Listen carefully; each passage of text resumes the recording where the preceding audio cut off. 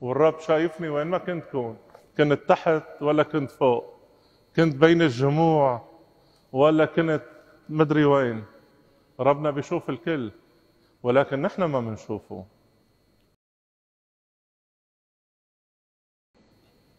إنجيل زكا اللي سمعناه اليوم هالإنسان اللي كان قصير القامة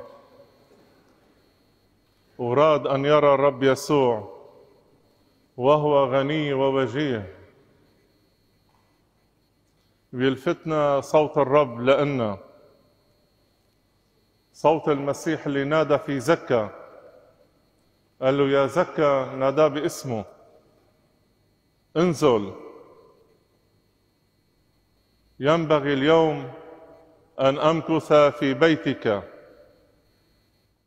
هي الرب عم ينادي كل واحد فينا.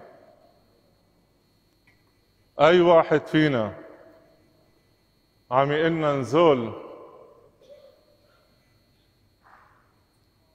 لازم ادخل لقلبك.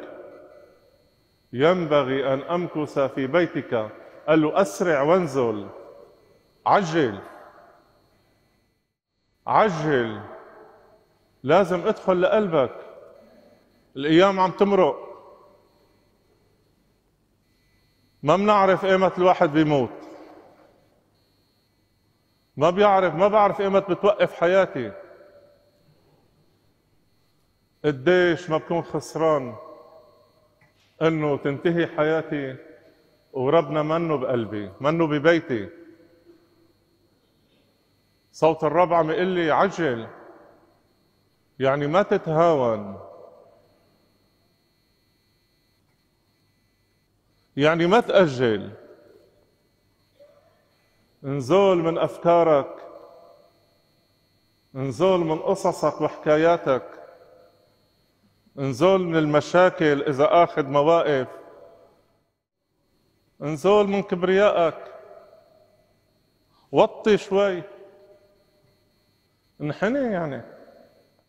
ينبغي أنا بدي أدخل لقلبك. ما تمنعني.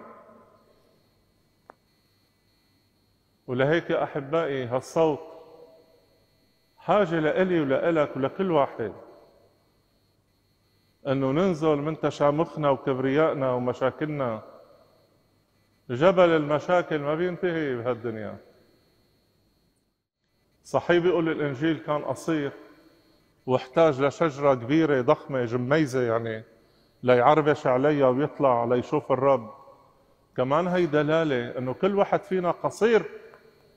يعني عاجز أن يرى يسوع بسبب خطاياي وتشامخي وضعفاتي وكبريائي. وفي قصص كثيرة بتمنعني شوفه للرب. بحاجة خشبة الصليب يعني خشبة الشجرة يعني خشبة الصليب يعني إنه ضحي يعني إنه أرحم يعني مد إيدي لغيري. هيك بقدر شوف الرب والرب شايفني وين ما كنت كون كنت تحت ولا كنت فوق كنت بين الجموع ولا كنت مدري وين. ربنا بيشوف الكل ولكن نحن ما بنشوفه. بحاجة مين يرفعنا وبحاجة ننزل ننزل ننزل بفكرنا وبمواقفنا القاسية أحيانا حتى نشوف الرب ونسمع صوته.